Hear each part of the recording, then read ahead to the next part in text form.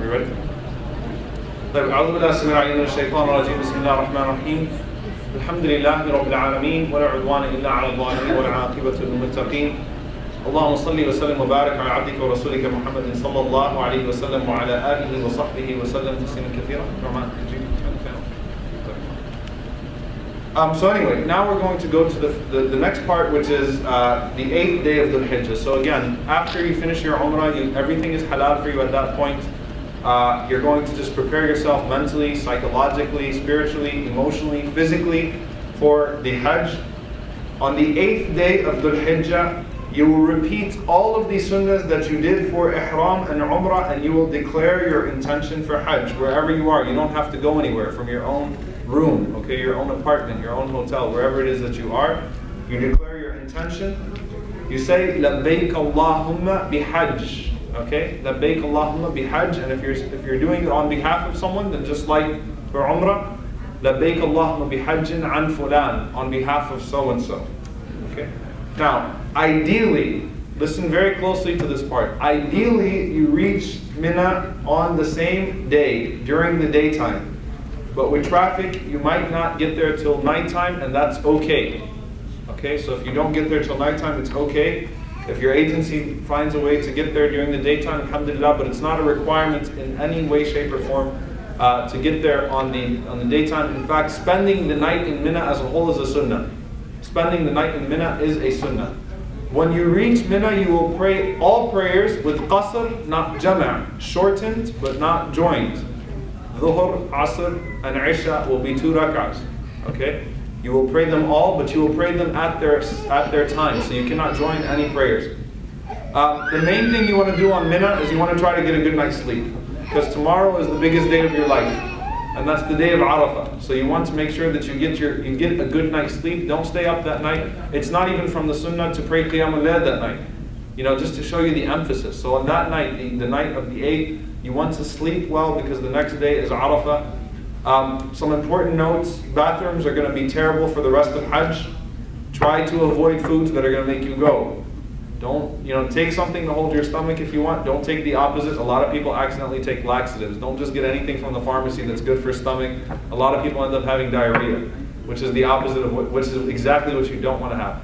But try to eat foods that are not going to make you go, even with the buffets that are going to be provided and the food that's going to be provided. It is better for you, any food that's going to make you use the restroom, it's better to avoid those foods. Um, the other important note, memorize your tent number in Mina. You, are going to get lost a few times in Mina possibly. You know, we'll try at least our group, inshallah, We'll try, your group should do this. We try, we'll always try to go together to do all of the rituals, but still, you might get lost in the crowd. So you need to know your tent number because no one's going to be helpful. I'm just explaining, when you get lost in Hajj and you ask someone a question, they're just going to point in any direction that comes, they're just going to point this way.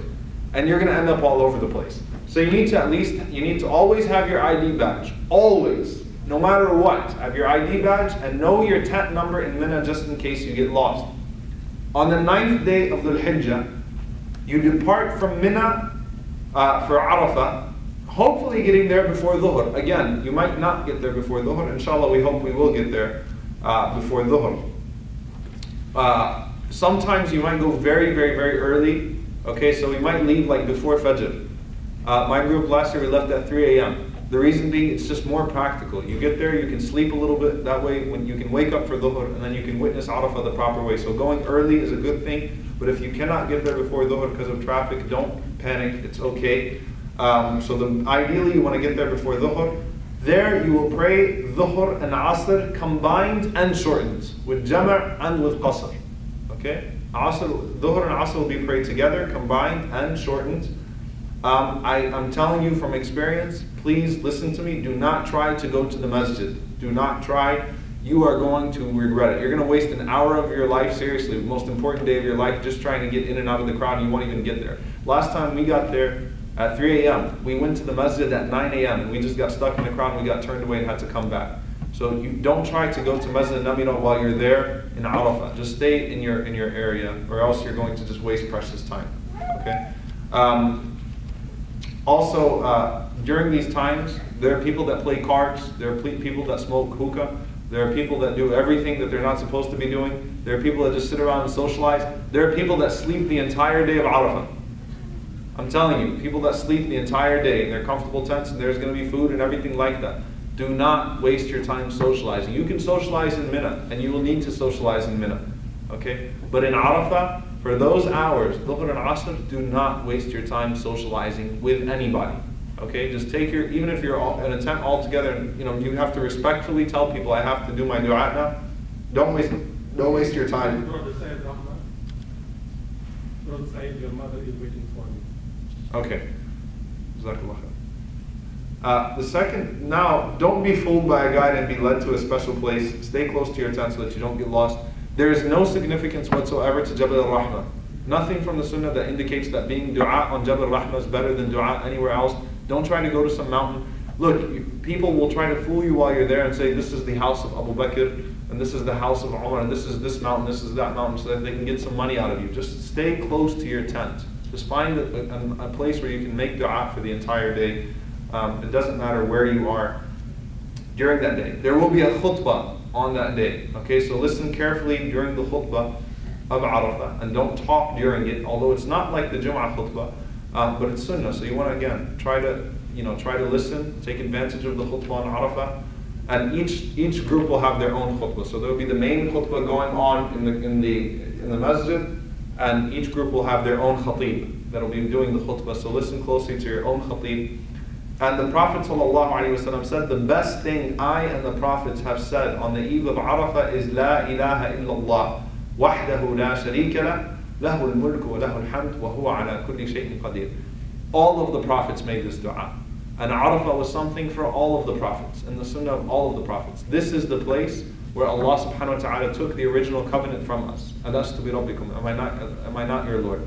This is the place. So that is the day, again, that, that moment, you want to make the best dua. Make that dua as much as you can. There is no basis in the sunnah for congregational or group dua on that day, so make it personal. Make dua in your own language. I'm telling you, don't sit there and try to read a book. Make dua in your own language. This, pour your heart out for these few hours. It's the most important day of your life. This is the day you'll be forgiven for all of your sins, inshallah the most important day of your life. So make your own personal dua in your own language.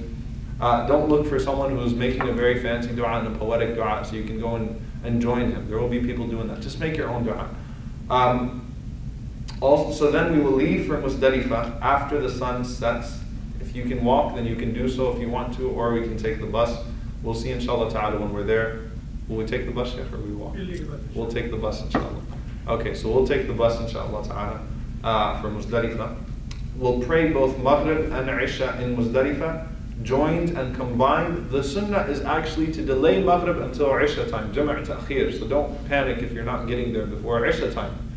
So the sunnah again is to pray Maghrib and Isha at the time of Isha, late uh, combined, and of course the Isha will be shortened.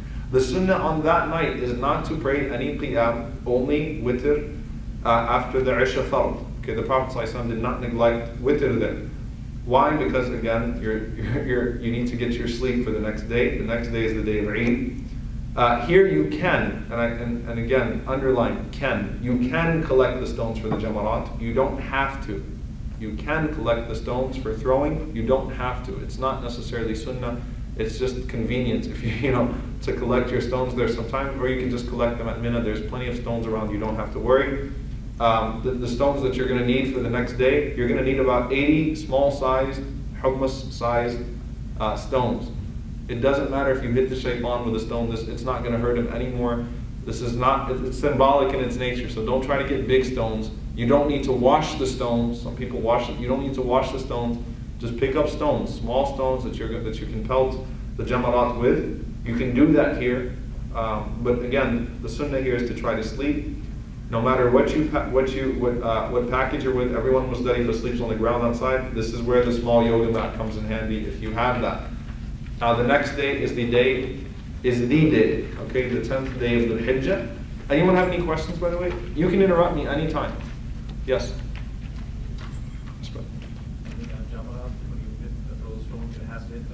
We'll get to that, inshallah. Yeah, but yes. How much is the distance between uh, Arafah and Arafah and where? Muzdalifah? Arafah from Muzdalifah is what, three miles? Three miles, three kilometers? Three minutes, three miles, yeah, Three three miles. So miles. With, with the, with the crowd, so many people, how, how long it's gonna take if we walk, let's say, if we, if we decide to walk? But basically, you're not supposed to walk because you know where the place. But- Yeah, you can get lost easily, honestly. I wouldn't, I would only recommend that for someone who's extremely experienced, to be honest with you. Yeah, so just take the bus. Wear more than one ihram? Yes, you can, you can keep changing your haram over and over again, it's fine. You can take multiple harams. Okay. Sisters, any questions so far? Yes, sister. The sleeping bag, yes, but you don't want anything, again, that's going to fit your body. That's the thing. Just to stay out of a doubtful matter. Anyone else? And it's kind of, it's just going to be kind of hard to carry around a sleeping bag anywhere in that time. Okay, so let's continue, inshallah, the 10th day of the Hijjah. You will pray Fajr at the beginning of its time, as soon as Fajr comes in. It is permissible for the women, the elderly, and the sick to leave before Fajr to avoid the crowd. If the group decides to do this, we should follow. Okay, so some groups will leave before Fajr, considering if they have a large, again, just logistically speaking, if you have a lot of elderly people or a lot of, uh, you know, a lot of uh, women or sick people, uh, you can leave before Fajr. Uh, so that, that, but ideally it's better to leave after Fajr. Okay? You'll then depart to Mina. And by the way, here you can do things out of order.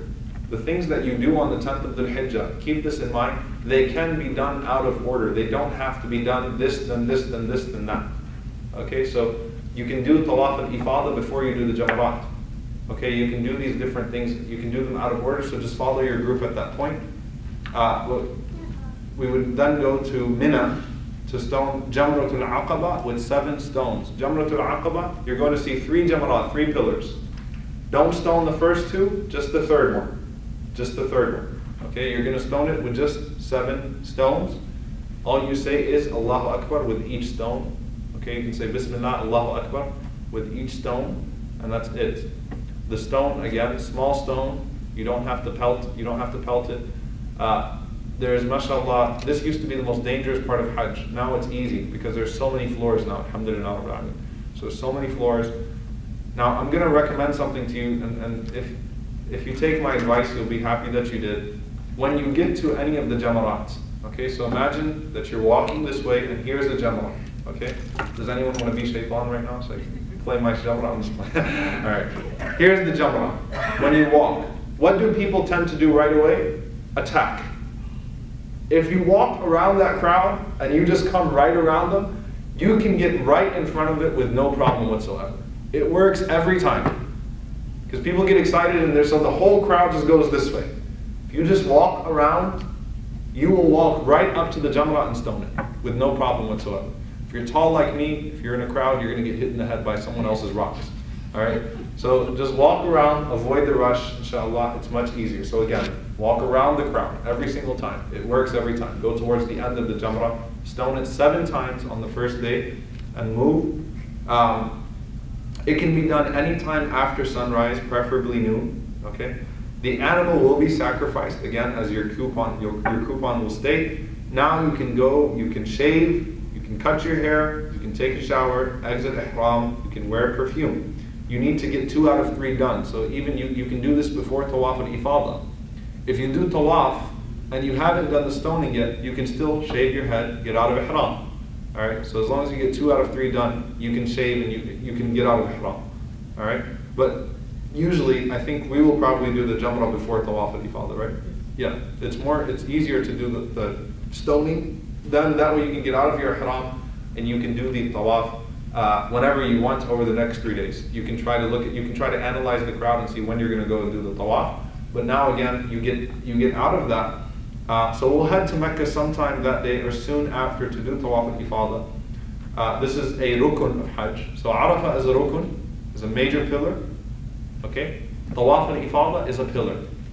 Okay, you have to do these things. You cannot skip tawaf al-ifadah. Uh, the man and the woman must observe this.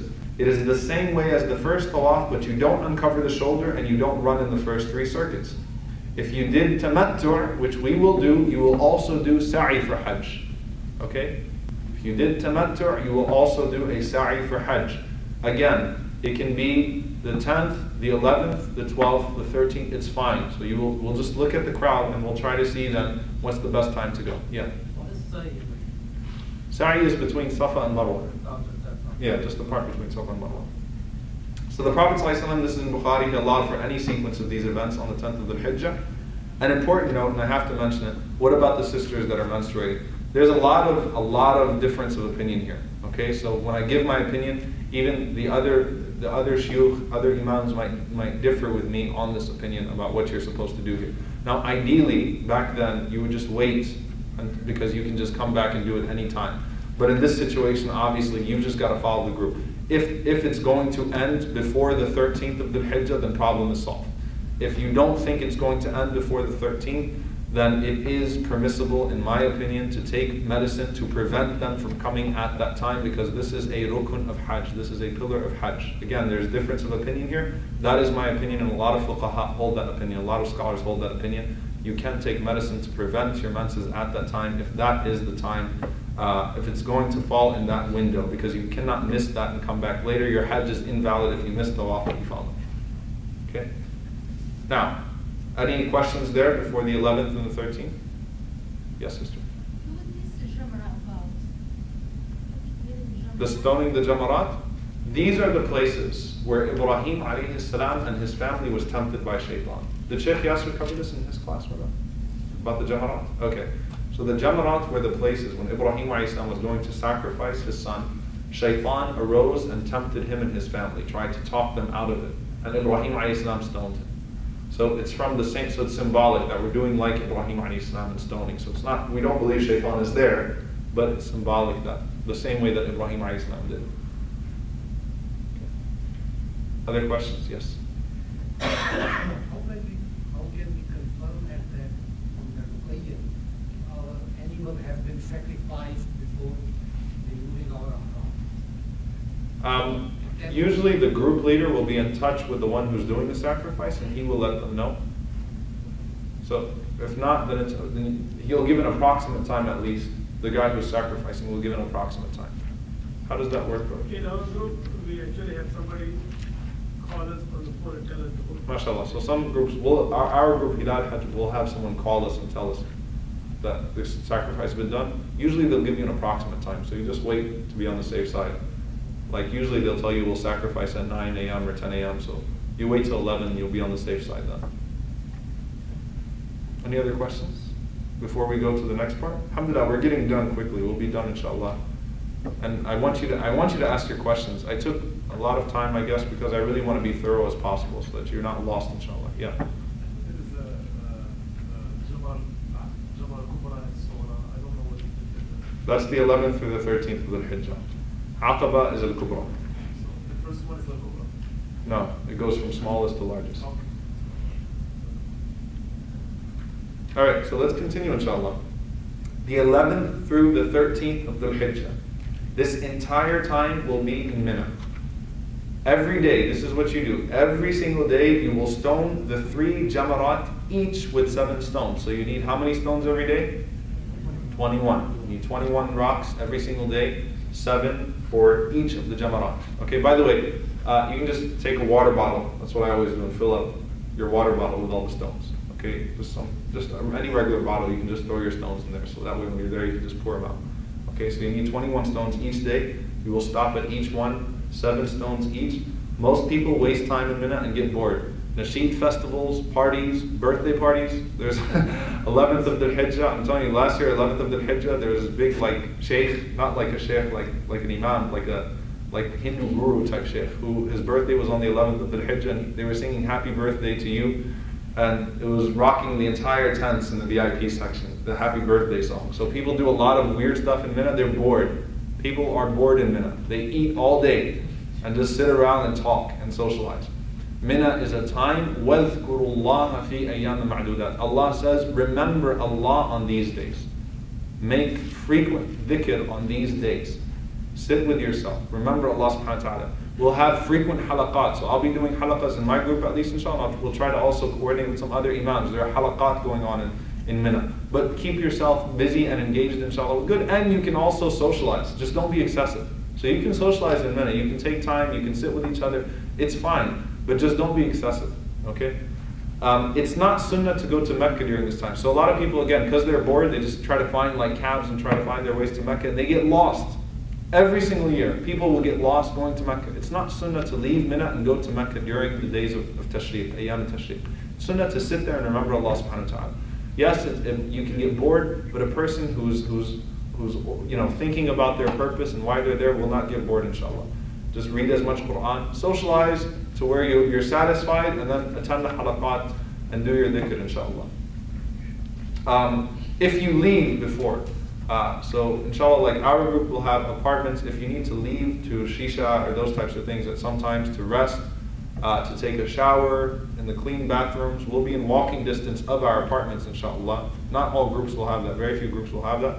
Have apartments, inshallah, you can walk to, take a shower if you need to, because again, the bathrooms are really bad in Mina usually. That's fine, inshallah, but you should be there before the sun before the sunset so you can spend at least half the night. You have to spend at least half the night in Mina, inshallah. That's required. But again, it's not sunnah to leave in the first place to go to Mecca, to go do Hajj, I mean to go do Umrah, or to go do Tawaf or anything like that. Okay. Then we come to Tawaf al-Wada', which is the farewell Tawaf. This can be done anytime afterwards, and in fact, now this is a difference of opinion uh, I'm mentioning. Some scholars said it can be combined with Tawaf al-Ifada if you're not returning to Mecca.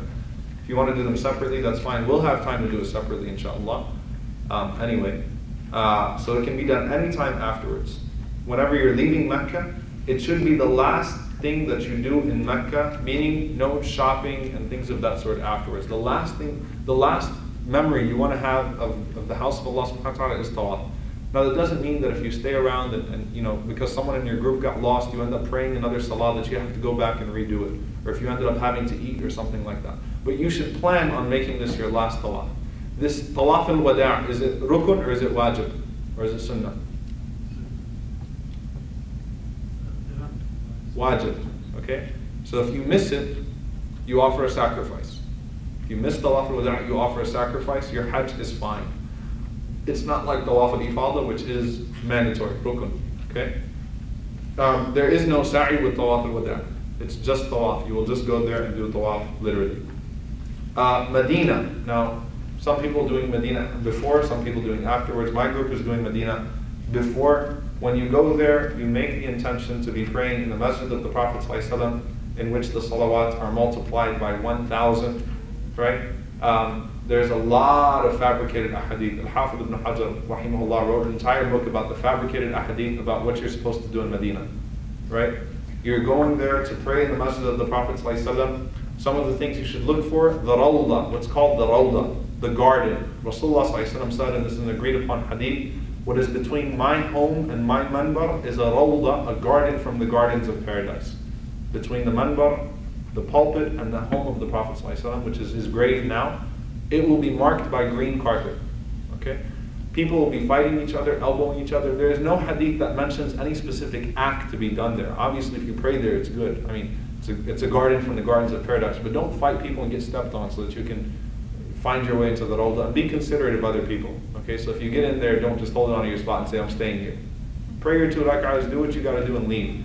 Because people are all fighting and, and, and jumping over each other to get on that green carpet and it's not that's not the, the intended purpose of it. Um, personal advice: most people waste Medina in the in the in the marketplace. Most people waste Medina in the marketplace. Medina is the city. this is probably going to be your favorite part of Hajj, although it's not part of Hajj. Medina is just so beautiful, subhanAllah, there's such tranquility. Because the Prophet made dua that, oh Allah, make Medina more beloved to us than you made Mecca to us. And subhanAllah, Medina is just a place when you go there, you just don't want to leave. The people are just, subhanAllah, the descendants of the Ansar. Clearly, they're just, they have a certain, the people in Medina are totally different from the people everywhere else in Saudi Arabia. It's a fact, right? And there's a certain tranquility and peace that comes in Medina. So just appoint one day. You know, this is this is such a special place. You know, you don't want to waste it just every single day going to the marketplace, getting thobes and abayas tailored here and this and this and that, and shopping for everybody else. Don't shop for anybody else. Just go one day, buy a bunch of cheap perfume, throw it in your suitcase, and that's it. Don't waste your time in the marketplace. Most people will do this, okay? One day, not sunnah, but I'm just saying, try to catch janazas from, the, from Medina. This is one of the, dis- the distinctions, obviously, Mecca Medina Hajj, every single salah, there's janazah. Every prayer in Mecca and Medina. Every prayer. Multiple janazahs sometimes at a time. Now, brothers, if you want to run and catch the janazah, all right, pray next to the gate of Bilal. Bab Bilal. The gate of Bilal is to the left of the masjid of the Prophet. Pray there. As soon as you finish salah, run to the front of the masjid. You'll see the body being carried out over here. You should meet them there. Go in with them to the Baqi. It's one of the most powerful experiences when you when you bury a person there. Because in Medina, if you die, you are buried within two hours. One time, an Imam, Sheikh al-Maymani prayed as Imam in Medina, Salat al-Dhuhr, and he was buried at Salat al-Asr, and Janazah was prayed on him in Salat al-Asr. So when you go to Medina and you hear that Janazah, you know every time you hear Janazah, subhanAllah, and, and you really want to die there anyway, subhanAllah, you feel that way. You know every time you hear as-salatu ala al-amwati next salah might be me. Such a powerful experience. You go there, if you can make it to the Baqi, so to the graveyard. The Baqi of the Prophet, the Baqi is right to the left of the masjid. Okay? They have hours where sisters can visit too, okay? And brothers can go, Fajr and Asr is when the brother, when people are allowed to go in with the body, Fajr and Asr. So again, you pray to the left, to the gate Bilal. Just look for Bab Bilal, the gate of Bilal. Pray your salah, walk quickly to the front of the masjid. You will meet them running with the body. And right when the body goes in, they close the door. So try to run with the body if you can. It, it is my favorite thing to do in Medina, subhanAllah. It is such an amazing experience, a real experience if you can do that. Uh, when you pass the grave of the Prophet you will simply say, Assalamu alayka ya Rasulullah. Okay, and subhanAllah, you can imagine obviously that Rasulullah said, Ardullah, that, the, that the, the earth of Allah, the ground of Allah, does not eat the flesh of the prophets of Allah. So the Prophet is laying there in flesh. You, the Prophet's body is there as he was, but of course his soul is in a barzakh, alayhi in another realm. And we should know when we say sallallahu alaihi wasallam, it reaches the Prophet wherever we are. Right? Whether you're in Medina in front of his body or whether you're outside of Medina. But it's from the adab, from the, from the manners of the masjid. When you pass by his grave, alayhi salatu wasalam, you should say, Assalamu alayka ya Rasulullah. And you will say, you will see Abu Bakr and Umar uh, right next to the Prophet sallallahu alayhi wasallam. And you will say to them also, Salam. Do not make dua to him. A lot of people do. Unfortunately, you will see a lot of, you will see people making dua to the Prophet sallallahu alayhi wasallam. Make dua to Allah. Okay, it's just, it's simple, but at the same time, it's important to remind everyone to do that. And this is an authentic hadith from Sa'id ibn Mansur, who said that Rasulullah said, Do not make my grave an Eid, and make salah upon me wherever you are, and it will reach me. Okay, don't make my grave Eid, make salah upon me wherever you are, and it will reach me. So you don't have to keep visiting the Prophet ﷺ over and over again, like keep getting out the masjid and going back and going back and going back just for the sake of doing so. Or have some people take a list of people, right? He told me to say salam for me. Someone says, hey, make this much salam for me on the Prophet when you see him. Say, you can do it here and it will have the same effect as if I'm standing in front of him in Medina. Because Rasulullah said, clearly connecting the two, don't make my grave Eid, it will reach me wherever you are. Okay, don't make my grave, grave Eid, but still it is obviously a very humbling and powerful experience whenever you do that. It is so amazing the first time you walk by the grave of the Prophet and you just feel that presence, subhanAllah. Uh, it is undoubtedly um, a, a, place where you just feel that Imam Malik rahimahullah did not used to walk with his shoes in Medina because he said this is where the Prophet ﷺ used to walk. I might be walking in the same place in the area of the Haram of Medina. He wouldn't even walk with his shoes, subhanAllah, even though he was a teacher there. So obviously recognize where you are. Uh, finishing off just quickly, to do wudu in Medina and to go, now notice again, to do wudu in Medina before you leave Medina and to go to Masjid al-Quba, the first masjid of Islam, and pray two rak'ahs is sunnah and it equals the reward of Umrah. According to the Prophet ﷺ, he used to do it on Saturdays. And inshallah, we will provide a bus, inshallah ta'ala. Every group should uh, provide a bus to pray to. You'll pray your, you- you'll do your wudu, and then you'll just go to Masjid al-Quba. You pray two rak'ahs, and by the way, they have, subhanAllah, the imam there, if you get a chance to see him, Sheikh Salih al-Maghamsi, subhanAllah, is really one of the most special people in the world. Uh, so it's, it's a very beautiful place, the first masjid of Islam. Uh, visiting the site of Uhud is also sunnah, where you, where you see the people like Hamza radiallahu anhu, Mus'ab radiallahu anhu, died for Islam. And inshallah, I'll explain, and you're a tour guide, whoever, not tour guide, but it is a tour guide, but your imam, whoever it is, should explain to you where, how the battle took place, and what, you will see the, the place that is clearly marked for the graves of Hamza radiallahu anhu, Mus'ab, and all of the other uh, shuhada of Uhud. So it is sunnah to visit and to, uh, to make dua for them, inshallah. Uh, Masjid al-Qiblatain and visiting the date market is something that's an added bonus. There's no sunnah to visiting Masjid al-Qiblatain, but you can visit it if you have the understanding that it's not sunnah to do so, but just to visit because you're there and to go to the date market. The dates in Medina are absolutely incredible, so you'll get to enjoy those tamar, inshallah, those dates.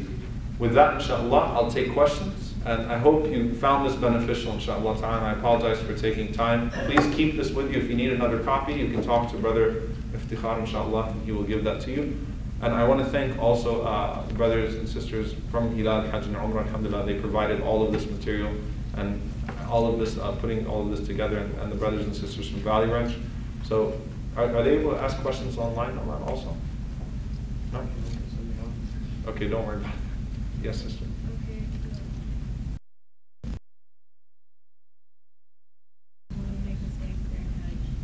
So you're not gonna, what are the, the question is, what are the types of sacrifices I can offer when you, when you make a mistake during Hajj? You're not gonna have to slaughter anything yourself, you're not gonna, you just, there will, there will be stations literally where you can pay for a sacrifice. So, the, you know, a lamb will be sacrificed for you, it'll be one, you know, they will take care of it, inshallah. Other questions? Yes, who, I don't know who raised their hand first. Is there one for every infraction? The, uh, Yes, one sacrifice per infraction. Okay. Yes. Is it uh, permissible to use the unscented soap? or- Yes, using unscented soap, unscented deodorant, unscented anything is permissible and good, inshallah, that's fine. While using the, While in ihram. Yeah. You can use anything that's unscented, and it's, it's good, it's sanitary. So it's good to do so. Sisters, any sisters? They're doing the, uh, deodorant, Deodorant is fine, unscented is fine, anything unscented is fine. There's unscented deodorant, there's plenty of that. And there's pharmacies everywhere there too if you forget to bring it, but you can bring your own, inshallah. any, Any sisters? Yes? No? I'm sorry. Well, but if, uh, does it have to be the tenth, or can you do it on the eleventh as well? Tawaf al Ifada can be done 10th, 11th, 12th, and 13th according to some scholars. On Ihram, like it will be provided, or you can get it here, or Um, the Ihram will be provided. Those who are going to Medina, they buy, those who are going to Jeddah, usually provide with Correct, so if you're going to Medina, you can, you buy it in Medina. If you're going to, what's your package? Yeah, I'm I'm not done it yet. I, I've, I've not done it yet. Are you doing it this year? Yeah, I'm gonna, Which pack, Medina first or Mecca first? It's Medina. Medina first. Are you with my package? I wanna go with you, but that's the thing, he's gonna try first. Okay, inshallah. So if you're going Mecca first, it should be provided, inshallah. Medina first, then you'll buy it in Medina. so your train is Medina first? What's that? My, mine is Medina first. And my package is sold out a long time ago, but, so it's not a sales pitch, you know, it's just to help people out, inshallah. Any sisters, questions? Please, brothers, raise your hands, inshallah. Yes. Uh, regarding the Tawaf al-Wada, if uh, someone goes to Jeddah or outside of Makkah and then they come back again uh, during their visit, uh, That's do they have to do it before leaving or? No. They, they well, yeah, they'll do it before leaving Mecca. Okay. So before leaving Mecca to go to Jeddah, you'll do it. And if you happen to come back to Mecca, then it's a whole other visit. Yeah. Uh, you should only, if something is harmful to you, you should kill it, that's it.